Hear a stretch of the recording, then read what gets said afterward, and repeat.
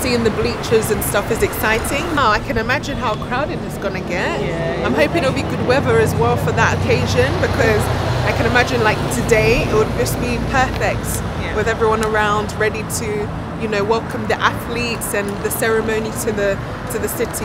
Pour la première fois de l'histoire des Jeux Olympiques, la cérémonie d'ouverture n'aura pas lieu dans un stade, mais sur la scène. Alors, à moins de deux semaines de cet événement exceptionnel, des milliers de tribunes ont fait leur apparition le long des quais. Ah bah ça, ça rend le truc réel. Bon, ça fait déjà six mois qu'on y pense, mais c'est vrai que c'est la première fois que je me dis ah ça va vraiment arriver. C'est hyper impressionnant et je sais même pas d'où ça vient. Je, je me disais en marchant, mais ils ont trouvé ça dans un stade ou est-ce que, est-ce que ça a été construit juste pour, euh, pour les JO Donc c'est assez grand tout ce qu'ils ont pu faire. On a hâte de voir, je pense, nous euh, à la télé. On va regarder ça à la télé et on va voir euh, notre ville.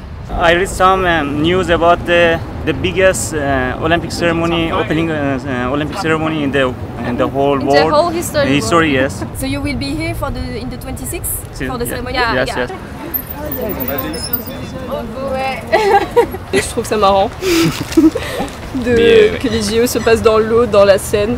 Je trouve ça original. Les infrastructures, ouais, les tribunes et tout ça, euh, je m'attendais pas. Ça fait un peu euh, comme à, comme à 7 avec euh, les tribunes quand il y a les joutes, tout ça. là. Et Bah, j'ai pas l'impression que ce soit totalement, qu'on soit totalement prêt-prêt là.